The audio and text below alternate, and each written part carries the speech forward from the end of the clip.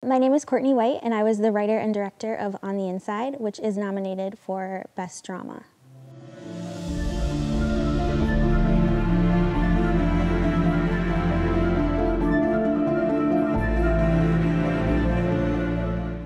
So usually um, when I work on a film, I'm like a producer somewhere on like the logistical organizational side. And so for this one, it was really awesome because I had, you know, creative freedom because I was the writer and the director. So I got to kind of call the shots and all of that. And that was really cool.